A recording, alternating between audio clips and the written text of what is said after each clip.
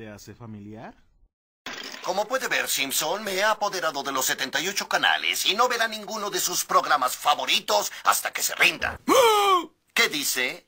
Que puede vivir sin televisión mientras tenga cerveza. Exactamente. Error. Todos los camiones de cerveza que venían han sido desviados. Esta ciudad quedará seca como un desierto. Y si a los borrachines de la localidad no les gusta esto, hablen con Homero Simpson.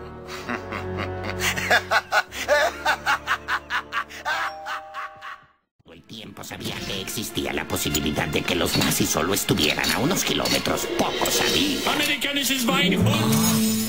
Al voltear vi la presencia más horrible que pueda verse. Los ojos brillando como carbón encendido, estaba el Führer el mismo, Adolfo Hitler. Abuelo, no peleaste con Adolfo Hitler, estás inventándolo. bueno, me atrapaste. Esa parte la inventé. Es bueno verlos tan emprendedores. Podría hacer una observación trillada acerca de desear que fueran tan emprendedores en sus trabajos de la escuela como lo son para reunir fondos para otro lugar para holgazanear. Pero, ¿soy el tipo de hombre que hace observaciones trilladas, Brittany? Ah, no. Excelente, Brittany. Ya que estás acertando, soy el tipo de hombre que ustedes suponen que apoya causas que fomenten la indolencia y los malos hábitos de trabajo de todos los estudiantes. Ah, creo que es... ¿No otra vez? Muy bien, Brittany. Ahora, Kevin, basándonos en lo que aprendimos de las brillantes observaciones de Brittany, ¿hay algo más que quieras decir antes de que se quiten de mi puerta con la mayor rapidez posible? Ah, ¿No compra chocolates?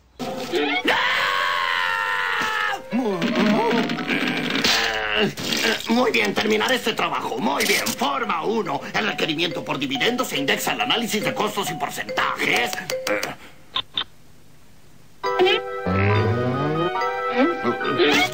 El requerimiento por dividendos se indexa al análisis de costos y porcentajes. Definitivamente, sí. Muy bien, esto es lo que necesito. Estoy bajo control. Estoy seguro que los más poderosos Mednavis compiten en el Gran Premio. Y ustedes me ayudarán a encontrarlos de inmediato. Espero buenos resultados de ti, Stoneman. Y también de ti, Blasterman. Ustedes dos son los mejores guerreros de World Tree. Me obliga a decirle lo que Mulder no le ha dicho, gente Scully. Vámonos. Es algo aterrador. Quiere sentarse en mis piernas. No va a asustarme. Mi historia asustó a cada presidente desde Truman en el 47. Hace 10 siglos los mayas temían que su calendario se detuviera en la fecha exacta en que mi historia comienza. Diciembre 22 del año 2012. El día que se hará la gran invasión. Sí, le divierte. Se siente ebrio de poder. Poder para hacer nada. Mi poder se basa en decírselo. En ver su impotencia al oírlo. Ellos querían matarlo, Fox. Lo protegí todos esos años, esperando este momento. Y verlo vencido, con miedo. Ahora puede morir.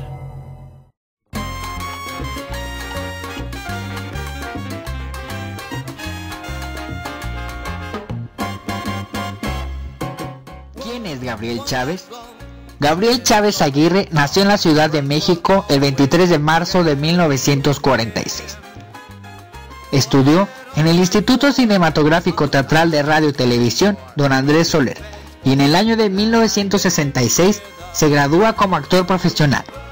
Chávez ingresa en el medio del doblaje en el año de 1986, pero también cuenta en su currículum con más de 25 telenovelas, 21 radionovelas, 20 películas de cine y varios comerciales de TV para la marca Taco Bell. Además, fue el actor base del programa Ya Cayó, dedicado a las bromas de cámara escondida. Es gracias a su experiencia en la locución, su espontaneidad y su manejo del público que TV Azteca lo nombró como el mejor animador del 2003. Con más de 40 años de trayectoria, este profesional del entretenimiento es considerado una celebridad del doblaje y pionero en las convenciones en nuestro país. Actualmente trabaja en la televisión en TV Azteca, en programas unitarios y participa activamente en producciones cinematográficas en nuestro país. Y ahora, desde la Comfort Freaks, tenemos la entrevista realizada al gran actor Gabriel Chávez, solo en Dubson Latinoamérica. Hola amigos de Dubson, buenas tardes. El día de hoy tenemos el placer también con nosotros una leyenda del doblaje. Tiene casi 30 años en este medio del doblaje y más de 45 en medio de la actuación. Sí. Su trabajo es excelente. Nosotros está con nosotros Gabriel Chávez. ¿Cómo estás? Bien, excelente. Pues aquí en esta maravillosa tierra Nayarita, aquí en Tepic, ahora viniendo a visitarlos. Y bueno, pues esperemos que, que los fans se vayan contentos, ¿no? Aquí en esta visita que hacemos ya a estas tierras tan padres. Eh, bueno, lo primero que te quiero preguntar es, tú empezaste como actor eh, de televisión y de cine No, de estos no, ¿no? no, yo empecé como actor de teatro. De teatro. De teatro, tendría yo 18 años más o menos. Ya había terminado mi carrera, yo me titulé como actor profesional y empecé en teatro, varias puestas en escena profesionales. Y después eh, hice mucho teatro para el Seguro Social, eh, siendo yo en aquella época era yo el galán de varias puestas en escena y luego dirigí mucho teatro también, sobre todo comedia, ¿no? Comedia que era lo importante y bueno, ya después entré a lo que fue el cine, la televisión como actor y entré al doblaje hace ya casi 30 años. ¿Y por qué decidiste cambiar de, de actor de teatro a actor de doblaje? Bueno, todo va implícito en la carrera. Sí, pero o sea, ¿cuál sería el- sí, la- especialidad? eh, mi especialidad es que me encanta todo. O sea, no puedo decir que me especializo en teatro, aunque ya no hago teatro, solamente el que hago en la casa. Pero eh, en sí, el cine es una atracción maravillosa. Llevo 21 películas. Ahorita estoy estelarizando una película que estamos filmando en León, Guanajuato, con Carmen Salinas. Ya vamos muy adelantados. Y llevo el estelar. Eh, bueno, llevo el segundo crédito, el primer crédito lo lleva obviamente Carmen Salinas. Entonces alternar con una figura de esa trayectoria es maravilloso, es impresionante. Y estamos trabajando en esa película. Terminé la anterior que fue, ah, pues apenas se va a exhibir en noviembre en, en los cines a nivel nacional. Todavía no hay título, pero es una comedia de mariachis. ¿verdad? Se estrena en noviembre. Y antes de esa tuve la película de Gael García y Diego Luna, que fue Miss Bala. Miss Bala. O sea, así ha sido mi trayectoria en cine, en televisión. Pues tengo muchos años, ya más de 15 años con TV Azteca. En lo que callamos las mujeres, a cada quien su santo, lo que la gente cuenta que es de terror, varias telenovelas, etcétera, ¿no? Antes de TV Azteca estuve en Televisa, pero luego me, un gran amigo, un gran actor, Humberto Zurita, me sacó de Televisa y me pasé a TV Azteca. Y desde entonces estoy ahí. Soy conductor de programas de entretenimiento, he conducido dos para TV Azteca. ¿verdad? Y luego, bueno, pues ya entramos al doblaje. ¿Eh? Y el doblaje me ha dado la oportunidad de, de poder viajar por todo el país. He recorrido ya a México, ya le di más de 20 vueltas, de costa a costa y de frontera a frontera. Y el Centro y Sudamérica, que lo visito no constantemente, pero sí, cada año hago un recorrido por varios países.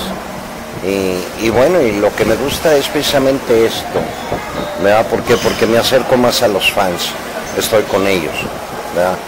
Nos entretenemos, nos divertimos, nos la pasamos padre, y bueno, pues es mi elemento, ¿no? Es- esto es lo mío, ¿verdad? Lo mío y estar vigente con los fans, que es lo importante. Y bueno, uno de los primeros papeles que tuviste fue en Expedientes Secretos X. Bu- Bueno, los X-Files, Expedientes Secretos X, trabajé nueve años haciendo uno de los estelares que fue El Fumador, ¿verdad? Cancerman. Eh, este programa, la ventaja que tuvo es que se transmitió a, a nivel Latinoamérica Nueve años, fueron más de 200 episodios maravillosos, pero no fue mi primer trabajo. No, ya para llegar a los X-Files ya tenía yo que tener mucha experiencia en el doblaje. El doblaje es una especialidad del actor. Pero mi primer trabajo ya profesionalmente en doblaje fue una película de George Lucas que se llamó Los Ewoks y la batalla por Endor, donde hice al villano. Mm. Y así vinieron muchas películas donde hice a villanos, como la de Robin Hood de Kevin Costner, que hice al sheriff de Nottingham, ¿verdad? y varias, ¿no? O sea, es tanto, tanto lo que he hecho como actor de doblaje, ¿verdad? que varias series se me van de la mente, ¿no? Y eso es muy normal, ¿no? No es porque tenga mala memoria, pero es muy normal, porque si no, si yo recordara todo lo que he hecho en doblaje me volvería loco.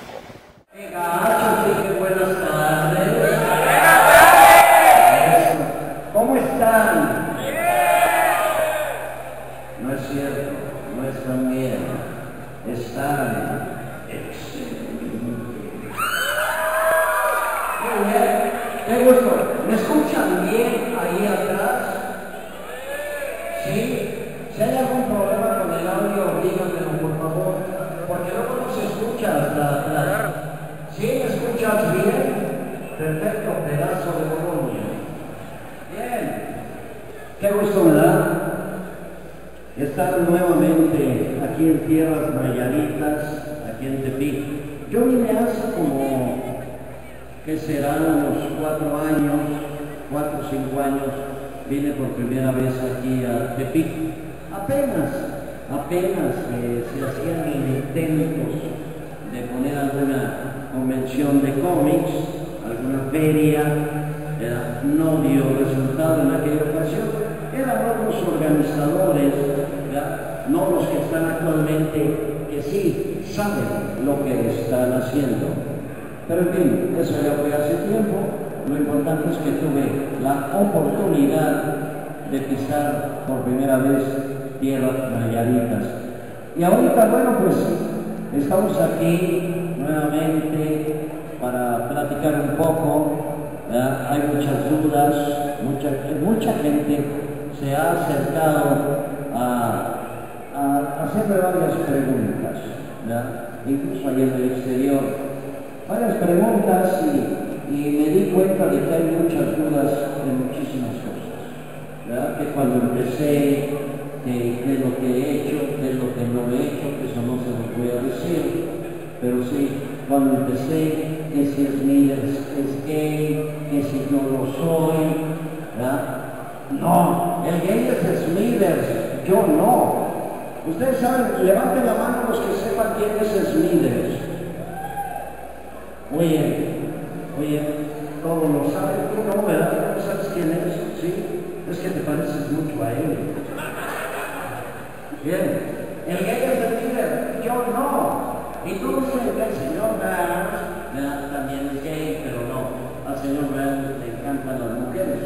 El hecho es que en varios episodios de Los Simpsons él se ha enamorado perdidamente. Ha estado enamorado de muchas mujeres. La, la primera mujer el señor Burns amó y de la cual tuvo un hijo. ¿Sí sabían ustedes que el señor Burns tiene un hijo? Muy bien, se llama Larry. Pero ¿saben cómo se llama la primera mujer que él tuvo? Tú sí sabes, ¿sí? ¿No? ¿Nadie sabe? Bueno, yo les quería regalar algo, no saben cómo se llama. ¿Cuál crees que haya sido el papel que te haya costado más trabajo? Todos. ¿Todo? Yo creo que todos, porque tienes que entregarte, el doblaje es magia, ¿verdad? Pero si hablamos de algunos favoritos, claro que sí los hay. En primer lugar tengo que mencionar al señor Burns, a Charles Montgomery Burns de Los Simpson, y luego tenemos al abuelo de Kay Arnold, ¿verdad? tenemos a, a Cabeza Grande del mundo moderno de Rojo, a Gallinazo, el buitre del pájaro loco, y muchísimos, muchísimos personajes que afortunadamente se han quedado en la memoria de los fans en toda Latinoamérica. Y así ah, surgieron muchísimos, muchísimos. Bueno, todos tienen un grado de dificultad, pero el que más trabajo me ha costado doblar ha sido, eh, este, ¿cómo se llama? El profesor Ronco, o el profesor de Martino de la serie de Daria. ¿verdad? ¿Por qué? Porque es un personaje con un altísimo grado de dificultad, porque en cada frase que él habla, ¿verdad? mezcla la- los tonos agudos con los graves. Entonces tienes que tener la garganta caliente, tienes que saber cómo abrirla, cómo cerrarla, cómo dosificar el aire, cómo manejar el diafragma para que no te vayas a lastimar las cuerdas ¿verdad? Y no te vayas a lastimar toda la garganta en sí. Entonces todo eso son técnicas que tienes que aprender. Entonces ha sido uno de los personajes un poco más, más difíciles que me han tocado, pero ya cuando lo conoces, ya es pecata minuta. Porque cada frase mezcla los agudos, los tonos agudos con los graves. Él dice, por ejemplo, en Daria. Les he dicho, ¿Qué pasó con el micrófono? les he dicho que a la universidad se viene a estudiar, no a perder el tiempo. Y termina uno botadísimo, ¿eh? Así, pero la garganta se protege. Bueno, ahora que mencionas al señor Burns, ¿es cierto que te mencionaron que no te ibas a quedar con papel si dabas tu voz? Sí, sí, porque este fue un casting, En el que intervinimos ocho actores. Eh, yo, cuando se hizo el casting, yo estaba en sexto lugar. Y bueno, como es un personaje, es un dibujo animado ya octogenario, estamos acostumbrados a que le ponemos voz de anciano. Entonces es lo mismo, todos se oyen igual, ¿verdad? es lo mismo. Entonces el productor, cualquiera que escogiera, daba lo mismo. Cuando a mí me toca pasar, me dice el director, caricaturiza. Le dije, no, yo no lo quiero hacer así. Yo quiero darle mi voz natural. Me dice, no, dale voz de anciano. No, no tengo la menor oportunidad. Así. No, pero es que así tiene que ser. Pues no.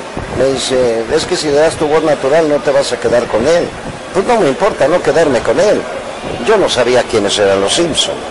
Ni siquiera yo vi un mono ahí amarillo. ¿verdad? No sabía que tenían el primer rating en, Canadá y Estados Unidos. Lo ignoraba. Y entonces, bueno, pues eh, le, le dije que quería darle mi voz natural y eh, no quería él. Entonces me dice, dame una razón de peso para, para ver que lo puedas hacer así, pero no te vas a quedar con él. No me importa no quedarme con él. Dame una razón. Quiero ser diferente. Y esa fue la palabra mágica.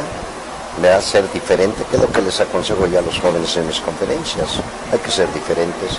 Y gracias a que fui diferente y le di mi voz natural, me quedé con él. Y hasta la fecha.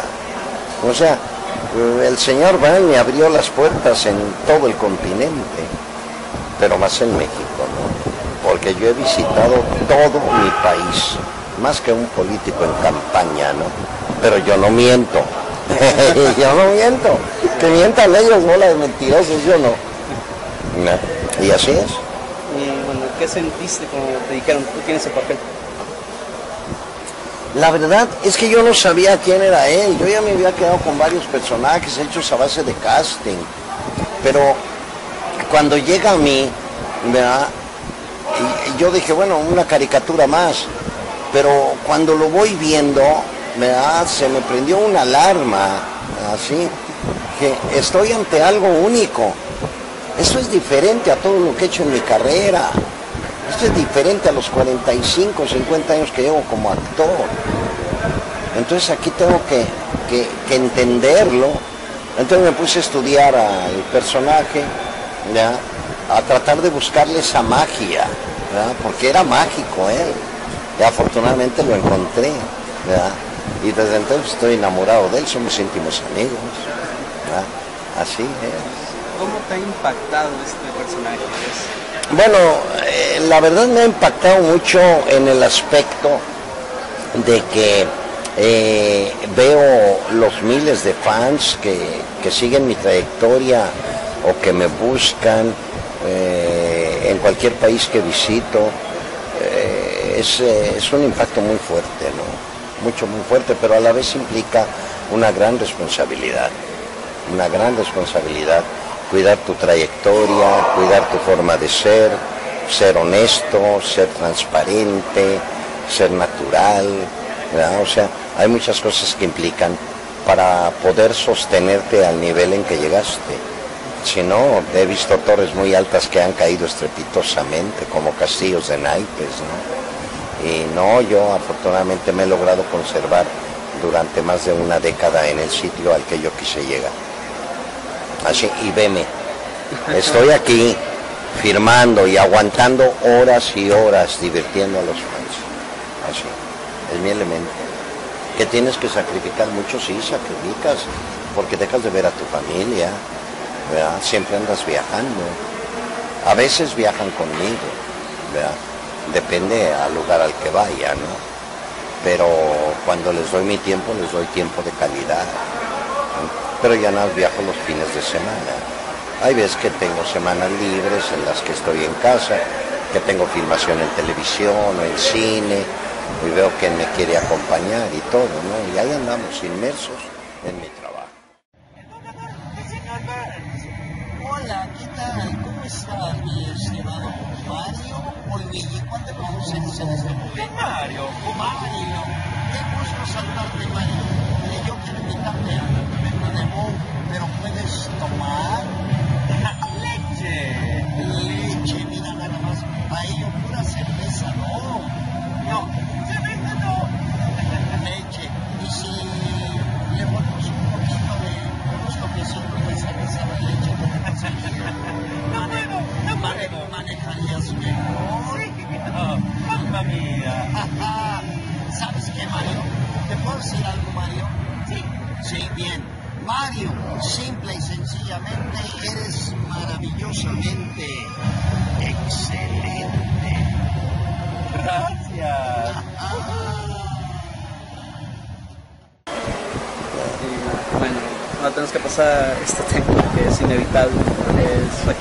llamó la huelga de los Simpsons, aunque no fue propiamente solo de los Simpsons, pero una huelga donde terminan despidiendo.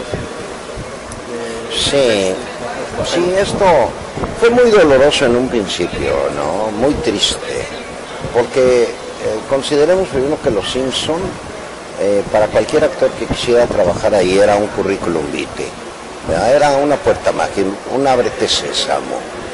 Entonces Los Simpsons siempre fueron muy peleados, demasiado peleados por actores que querían eh, entrar ahí. Entonces se vino, se vino el problema de, la empresa de, doblaje. Eh, de Demetrio Bilbatúa, ¿verdad? Estrellita se llama la empresa, donde había un contrato de exclusividad eh, entre la ANDA y la empresa. Eh, había una cláusula de ex- exclusividad donde nada más podían trabajar ahí actores afiliados a la ANDA. Pero desde luego que como en todo e históricamente se ha dado manga abierta, manga ancha, y trabajaban eh, act- actores independientes. Siempre ha sido así. O sea, sea un 80% actores de la ANDA, un 20% actores independientes, que no necesariamente son actores, ¿verdad? Pero siempre ha sido así, siempre se ha trabajado así. Pero acá no quería, la, la empresa quería desaparecer esa cláusula. La ANDA no lo permitía, ¿verdad? La empresa insistía, la ANDA también. Y llega el momento en que se arma una marcha en Paseo de la Reforma y, a mí me, me tomaron como líder del movimiento. Y yo nunca lo fui, yo no quería hacerlo, yo me negué a ser líder del movimiento. Sin embargo, en la marcha me ponen hasta el frente del conjunto. Ya éramos todos los actores, y bueno, yo aunque me negué, pues yo tenía que acatar esa disposición porque la orden me la dio directamente el que entonces era secretario general de la ANDA. Bueno, ok. Y hicimos la marcha muy bonita, la gente nos apoyó muchísimo. Y luego, bueno, pues ir a, a, este, la Secretaría del Trabajo, ¿verdad? Y en conflictos. eh, pláticas y pláticas eh, para llegar a un acuerdo. El acuerdo era muy sencillo, muy sencillo.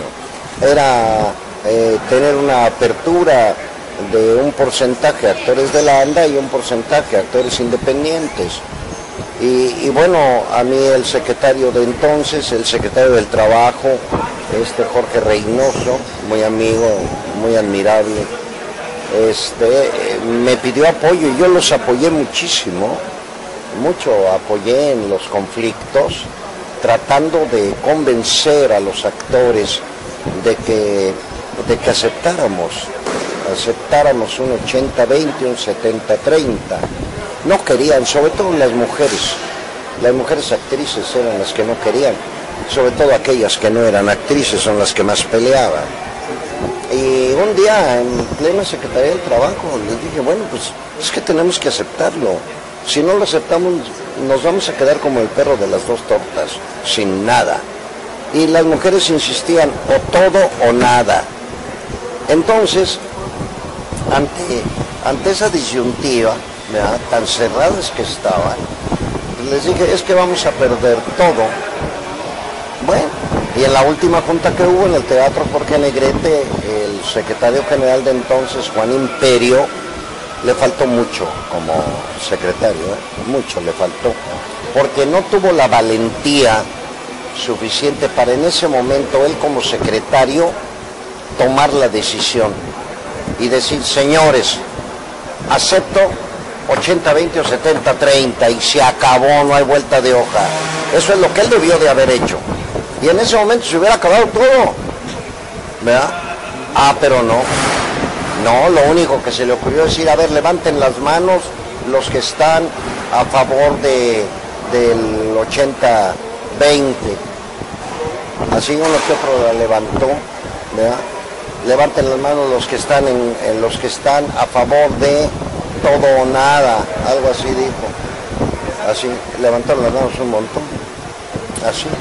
Y yo me paré, el teatro estaba a reventar, a reventar, no cabía un alfiler. Estaba yo con Humberto Vélez, Homero Simpson.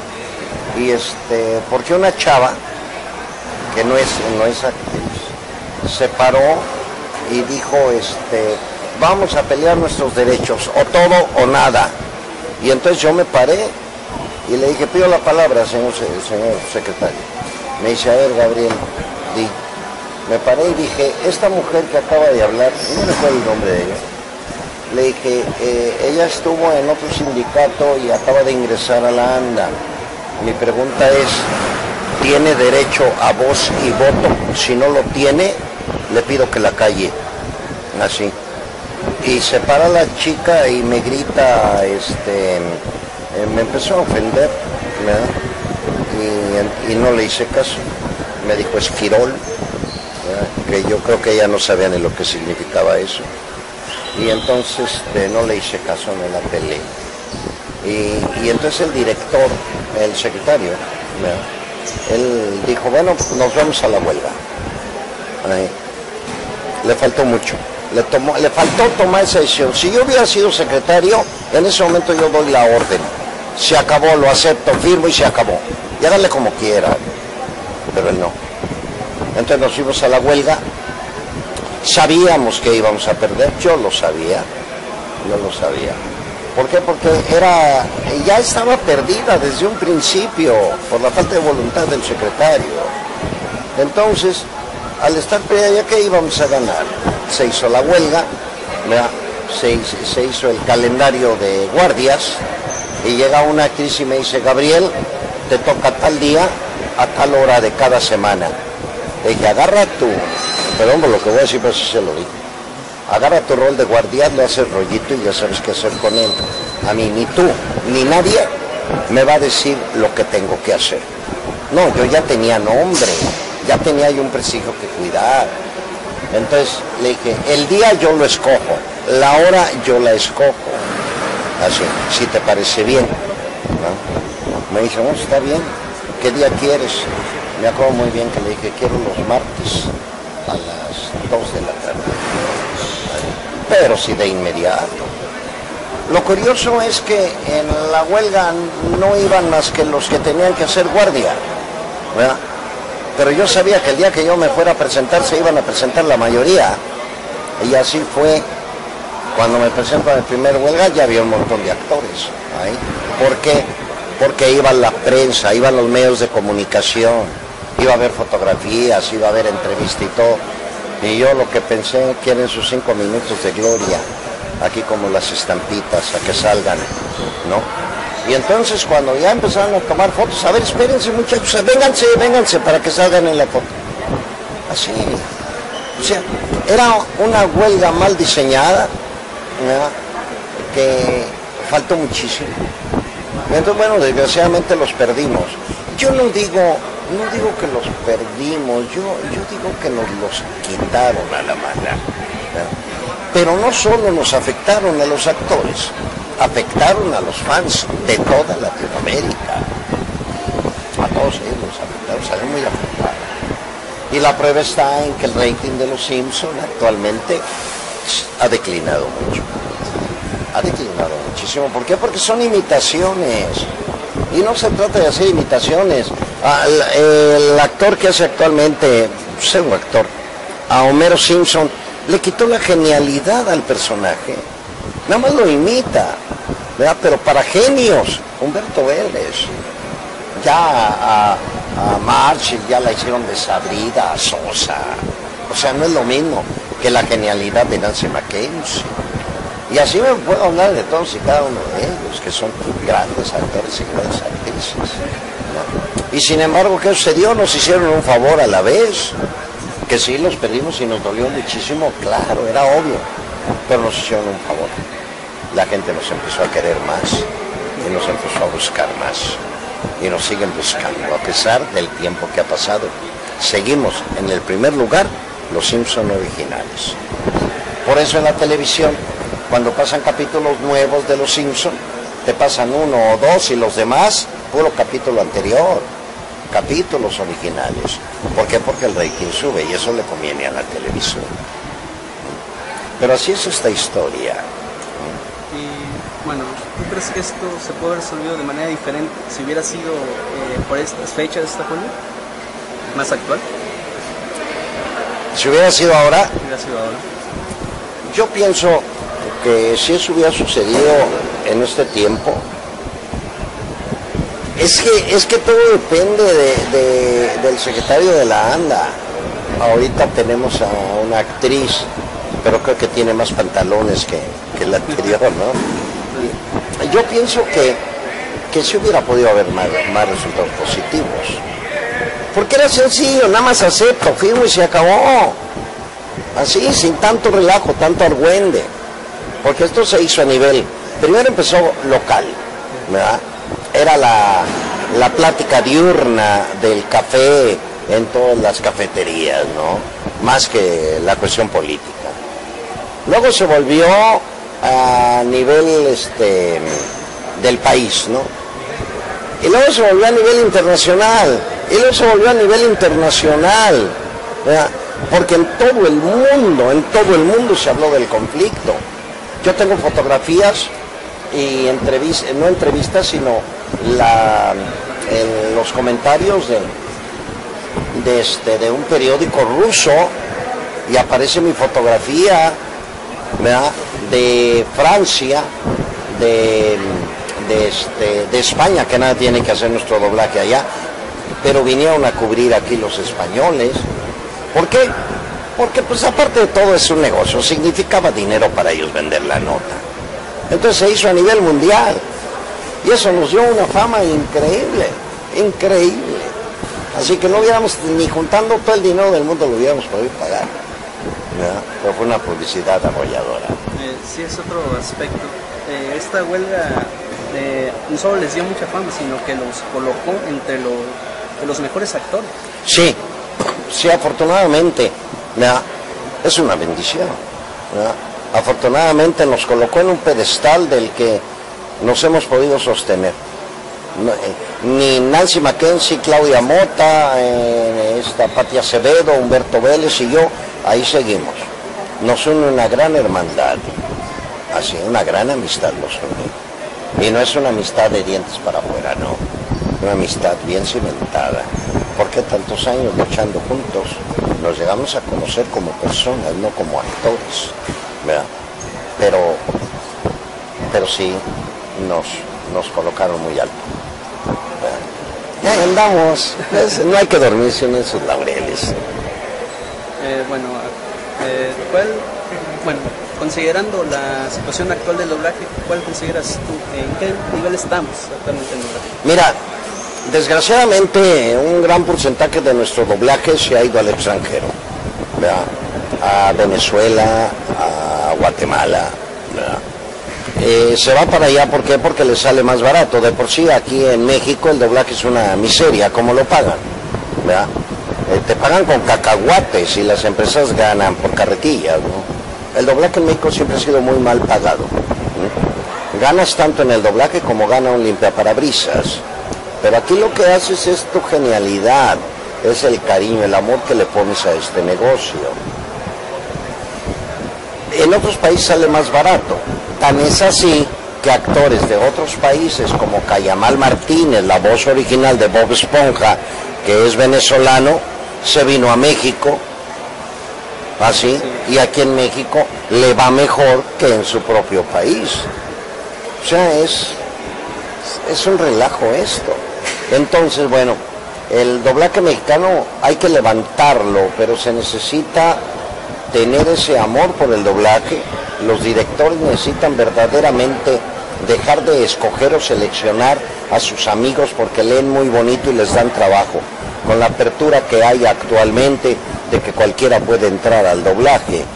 Por eso se echan a perder las series, por eso prendes la televisión, escuchas una voz que no va de acuerdo con el personaje, te aburre, te fastidia porque no, no, no enfoca los sentimientos como debe de ser y le cambias de canal. Entonces es lo que pasa. Lo mismo pasa con las películas dobladas por Star Talent, que nada tienen que ver, le quitan el trabajo a los profesionales del doblaje. ¿Por qué? Porque tienen nombre, mira, este Adal Ramones. Ah, mis respetos para Adal Ramones, no, pero él incluso lo reconoció, él no es actor de doblaje. Le dan una película para que la doble, gana lo que quiere, ¿verdad? porque él cobra lo que se le pega la gana y a nosotros nos pagan por tabulador. ¿Y qué pasa? No pasa nada. Ni jala la gente que debía de jalar, que hubiera jalado más gente doblando a Humberto Vélez a ese personaje que Adal, ¿verdad? ¿Por qué? Porque son los profesionales del doblaje. Y así cualquiera que me menciones, este Víctor Trujillo, por ejemplo, mis respetos, porque él sí es actor, ¿verdad? es comunicólogo, es comediante, es actor, sabe doblar, ¿verdad? ahí sí voy de acuerdo, es gente con la que debemos de contar. Entonces, cuando las cosas cambien y se dé trabajo a los verdaderos profesionales del doblaje, a gente que sabe interpretar, entonces pueden cambiar las cosas, pero no sé qué vaya a pasar. Yo lo ignoro, ya no tengo una esfera mágica, pero vamos a ver adelante.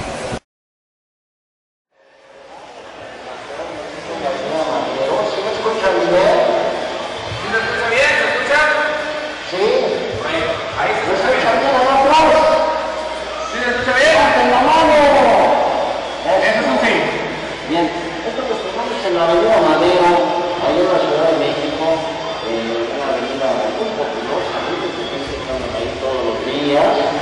Y ahí me puse la máscara y la verdad fue genial, fue, fue algo sorprendente. La gente está toda volcada ahí, la verdad. Y, y ahora la quise traer aquí, ¿verdad? porque hay un amigo, más bien que amigo, es un pelazo, ¿verdad? Es un carnápiro que me, eh, bueno, él es el jefe de seguridad del sector 7G de la planta nuclear, allá lo tengo como esclavo, digo como empleado, ¿verdad? Es, ay, ¿cómo se llama? ¿Cómo se llama? Homero Simpson. Nunca me acuerdo su nombre. Simpson. ¿Cómo? Simpson. Homero Simpson. Ah, Simpson, ¿eh?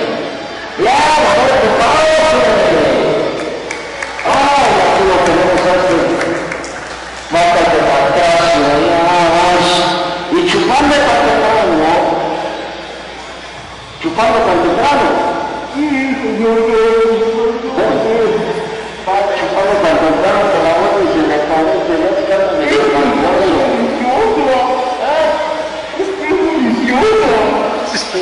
Él cuando toma la cerveza doble, toma cerveza de rosquillas, eh, viendo la televisión, ah, pero qué buena está su vieja de veras, ¿eh? la verdad que sí. Y a mí me hacer una pregunta. Señor Homero, ¿cómo lo hace para tener ese instinto animal que hace que todas las mujeres caigan rendidas a sus pies? No lo sé, creo que es mi cuerpo. Esta pregunta no está él. ¿Le entendieron? Porque yo no. No. No, nada. A ver, ¿cómo le podemos hacer? Le hubieras dicho. A a ver, es que a ti no te pusiste oye, que no veo. Oye, y ya veo que traes en la mano. Una o dos. Una o dos. Y, y está a mí me, gusta mucho el hecho de, de que, que traiga la botarga esa de, de Homero. Pero no me van a decir que se la porque es igualito. Es el, es el mismo, ¿no? El mismo. Yo si me quito, si me quito yo la máscara, me veo igual o diferente. Igual. Sí, igual. Yo quitándome la máscara, no soy amarillo. No tengo pecas. No soy dueño de una planta nuclear. No tengo los millones que tiene el señor. ¿Saben cuántos millones tiene el señor Real? Sí, a ver, levanten la mano. Tiene 16.3 billones de dólares. Yo tengo 16 pesos en la bolsa. Otra cosa, yo no soy tan cansón como él, ¿verdad? pero sí tenemos algo en común. Mi amigo Charles Montgomery Burns y yo nos encantan las mujeres. ¿Eh? ¿Eh? ¿Cómo la ves? Y a este señor lo único que le encanta es estar chupando todo el día. Y a ver si un día esto lo convenció para que chupe con Smithers y ya de una vez por todas quitármelo de encima. ¿O no? No, todo menos un mariposón Ese es muy la verdad es maravilloso porque que por el ¿ya? pero pero poquito, si no me voy a caer. Bien amigos, la ventaja que tengo con esta máscara es que no sudas, no, no absorbe el sudor. Eso me dijeron ustedes que inventamos a los canales de Orden de Pico. Bien, pues al señor Vaz, ya mucho gusto estar aquí en Tepic. Yo termino mi participación, me regreso a mi planta nuclear para poderlos atender a todos ustedes mientras a este pedazo cuando de vacación se regresa al sector 7G de planta nuclear a seguir trabajando porque si no lo vamos a poner a bailar. Por cierto, ¿te acuerdas cuando el señor Adams ya está con los amigos y están, allá, están bailando conga, ¿verdad? Y él, él por fin como que quiere dar su brazo a torcer y empieza con lo que conga. ¿Se acuerdan ustedes de lo de conga, conga, conga? Nada más.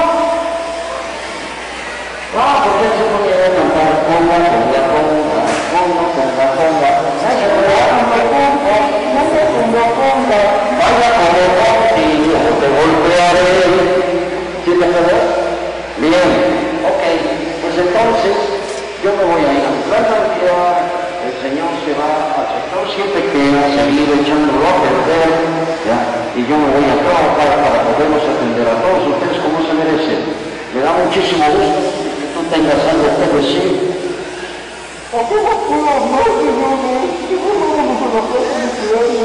¿Qué? Ah, muy bien, vamos a trabajar para allá.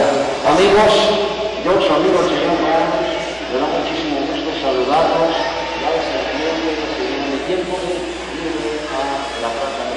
Y un deseo a todos ustedes que tengan una tarde excelente. Muchas gracias. Y todos aquellos que se llevaron los regalos, por favor, me los Bueno, eso ha sido todo, Gabriel. Eh, un placer tener con nosotros. es una Pues, leyenda Muchas gracias, hombre. También para mí ha sido un placer. ¿verdad? Espero que esta entrevista sea agradable para todos los que la vean y la escuchen. ¿verdad? Y pues, por lo pronto, para todos los que nos están viendo, les mando yo, su amigo el señor Burns, un saludo muy afectuoso y que tengan ustedes un día excelente. Hola amigos, ¿qué tal? Les habla el señor Burns y desde Springfield quiero mandar un saludo muy afectuoso a todos mis amigos de Good Soul. Un saludo excelente.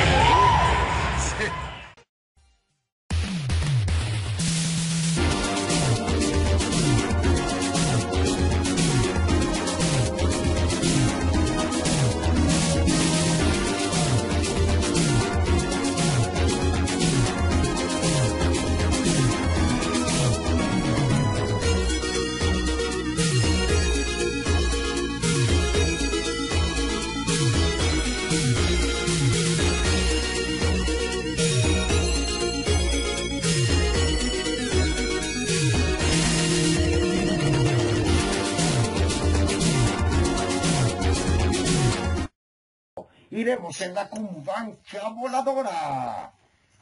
Suba. pero señor. Dije, suba.